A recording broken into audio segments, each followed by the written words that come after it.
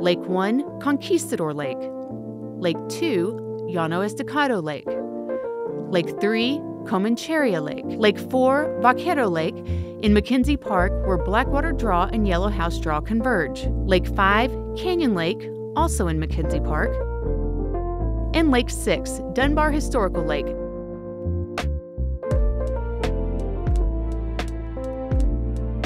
The Canyon Lake system is one of the best things about Lubbock. Tranquil views, places to play, gather, nature, fishing, walking. But many don't know that all of this went from a city dump site to a planning and engineering marvel that had never been done before or since. It's probably one of the most innovative projects, uh, you know, in the United States. When Jim Bertram came to Lubbock, he came as a teenager with a group of friends from South Texas enrolling at Texas Tech. It was there that he discovered his professional path and got his first job. Actually, it was the planning department at the city of Lubbock. I was uh, while I was going through school, I had a part-time job there. Once I knew I wanted to go be in the field of city planning, uh, I got a part-time job, so I was working while I was going to school, and they had a entry-level professional planner one position when I graduated for him. The associate planner resigned after the first year. I, I went up to associate planner and then he left. Uh, the senior planner, who was the department head, left and I uh, became the department head in 1968. During that time, the City of Lubbock Planning Department used a seemingly mundane mandate as an opportunity to hatch some pretty radical ideas and to dream bigger than ever. Well, in 1967, all cities our size were mandated to do an urban transportation plan. And one of the things you have to do is to project future land use. Uh, we came to the canyon and we said, well, how do we want to show the canyon? A lot of it, with the exception of Mackenzie State Park, was industrial. It was zoned industrial. The city even had the first sanitary landfill in the canyon. And so it was shown as dump. Somehow they were mixing cottonseed uh, meal or something with oil or something. It was, there were big 50 gallon drums. It was the most awful looking thing I've ever seen. It was ranch land. It was had mesquite trees and, you know, and was grown up in weeds. And the sad part about it from the beginning, when the planning department started the study, was that for other than Mackenzie Park, the rest of the canyon had been treated uh, as a convenient place to hide the ugliest part of our urbanization process, rather than looking at it as the greatest visual asset. So it wasn't like we had a clean slate to just start building lakes and parks. We had to claw it back from dump grounds and caliche pits and uh, asphalt batch plants. But opening and cleaning out the canyon wasn't where that seed of an idea stopped. It kept growing into something unheard of at the time, and especially for this near desert area. We sat down and, you know, we would sit down in brainstorming sessions about, uh, you know, when when someone first said let's let's build dams and have lakes, I think there were some people around the room who went, really we we don't have any water. Well, I've heard about this project, in Santee, California, where they've done it on a small scale. So well, Lubbock has no constant stream of water. And so he said, why don't we investigate using reclaimed water? I recall vividly in an open open council meeting, a city council member asked me, he just point blank, he said, Jim, is this feasible? or is this a pipe dream? Those were almost his exact words. And I said, I don't think it's a pipe dream because I know it's been done on a small scale. No one has attempted it on this large a scale. After studying Santee, California's small scale version of using reclaimed water, and after doing a feasibility study, the city planning department took its nearly inconceivable idea to the citizens. We looked at the feasibility of it and came up with a recommendation to build eight lakes in the canyon, use reclaimed water, and we got permission from the planning director to, to do a 35 millimeter slide presentation. We went around and showed that to civic clubs and just kind of pitched the idea. What do you think about this? We were skeptical about what kind of response we would get, and we were overwhelmed by the support. When the civic clubs started sending letters to the council, the Lubbock Chamber of Commerce was developing the first goals program. And as it turned out, they debated this in the goals committee on, on recreation open space, and it ended up as the number one goal in Lubbock goals for the 70s. It was just a matter of waiting for opportunity, and unfortunately, the Lubbock tornado became the opportunity. In my opinion, it was the catalyst because right after the tornado, the city council appointed, I think they called it a blue ribbon uh, recovery committee. And their, their responsibility was to look at all the needs and come up with a bond package to uh, present to the citizens to recover from the tornado. One of them was for the Civic Center, the Mahon Library. Um, I think there were funds in there for the airport at the time and for the Canyon Lakes system. After the bond election passed, Jim Bertram started work on the Canyon Lake system, but it was never smooth sailing.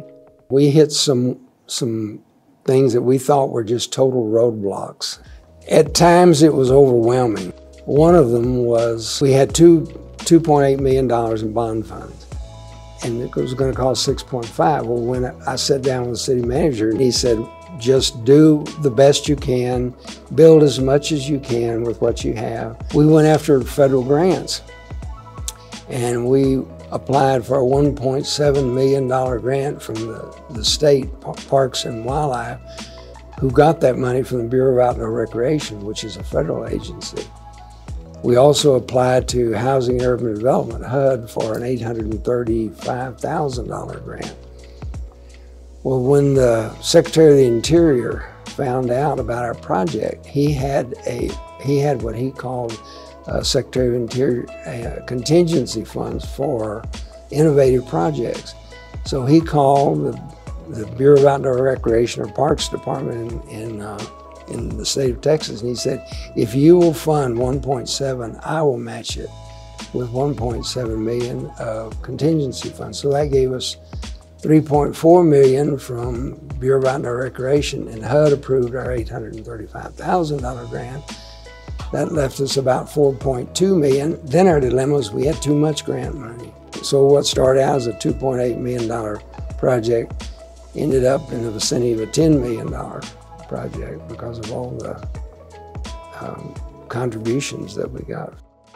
So the money issue was solved, but then came the next roadblock city manager uh, turned the project over to the planning department. Uh, I, I recall somewhat in a humorous manner, but somewhat in a frightening manner that he forgot to tell me the Corps of Engineers dumped all the tornado debris in the canyon. We knew that we were going to have to cover up the tornado debris, which was dumped up just uh, up near Lake One. And uh, and we knew we were going to have to deepen the lakes to keep them from getting totally covered with cattails. So we went to Clark Equipment Company, who manufactures the big 16 and a half yard scrapers. And we asked them how they'd like to test their equipment in our project. And they said, sure, we'd, we'd like that if you'll just give us some publicity. And so we started deepening the lakes and widening the lakes and putting the fill on top of the tornado debris to hide it and compact it. As soon as the debris was covered, the next roadblock surfaced.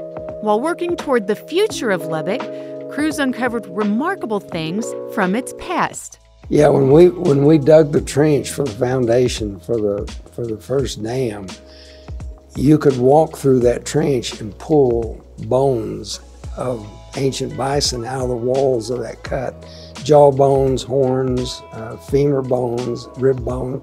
There's two levels of archaeological study. They had to do a preliminary, but they went through there and they also found uh, Indian campfire sites with, with flints, you know, arrowhead, flint spearheads. And we, we approached certain points and like, are we crazy?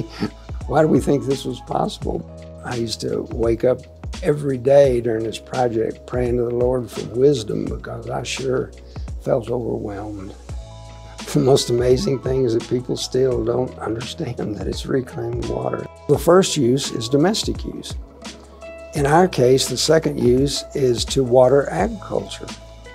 And when we drilled down in that aquifer right beneath the agricultural area, brought it back up, pumped it in the lakes, that became the third use for recreation. Uh, we ended up, the water source for the Canyon Lakes was 26 wells drilled on that agricultural area out there and collected it, and it was the land itself that filtered the water. Put it in a pump station, pump it back upstream and release it and let it flow by gravity through the lakes. And uh, now I understand the city's talking about Lake 7, which has come full circle back to domestic use again. So it's actually four uses of the same, same water. And it will be, you know, that's a blank slate. The city can do what they want to with that. They either allow housing development or make that an extension of the, of, of the land there.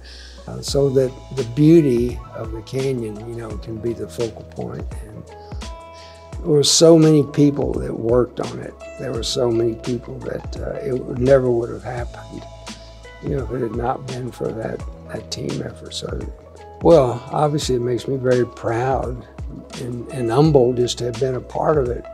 And I look back now and, uh, and I, I think um, so many things happened that I had no explanation of of how things came together, except uh, I think it must have been blessed by the Lord, just fell into place. And so the timing, as tragic as it was, uh, because of the tornado, uh, I don't think it could have happened any other way. There were too many, too many roadblocks, too many things where that could have totally stopped it. But uh, I think I think we were, I think our community was blessed. I really do. At 1,600 acres, the Jim Bertram Canyon Lake system is still the largest reclaimed water system in the United States. A continued testament to the vision and the tenacity of those that chose to think bigger.